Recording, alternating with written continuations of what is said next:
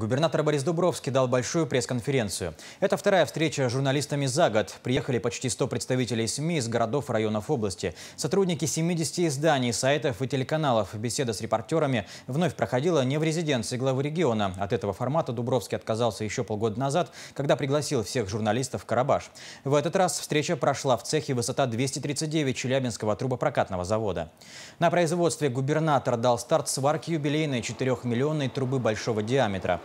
В торжественном событии принимали участие лучшие сотрудники цеха, а также студенты корпоративной образовательной программы «Будущее белой металлургии». Вот прошу вас нажать вот на эту кнопку. Вот это. старт 4 миллионной тонны трубы. Вот на эту. Вот это, да. Давайте вместе. Давайте.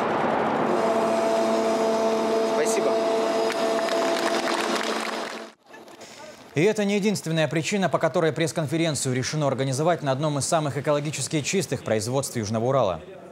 Можно вспомнить, как несколько лет назад э, э, группа ЧТПЗ нуждалась в государственной поддержке, и председатель Александрович Дубровский одним из своих решений э, принял предоставить э, группе ЧТПЗ государственные гарантии, и мы видим, как эти гарантии выросли в конкретный производственный результат. Мы видим, что достаточно устойчиво компания работает, у нее хорошие перспективы развития, и именно поэтому был выбор площадки сделан в пользу данной группы, потому что это исключительно такое решение Бориса Александровича Дубровского, позитивное, результативное.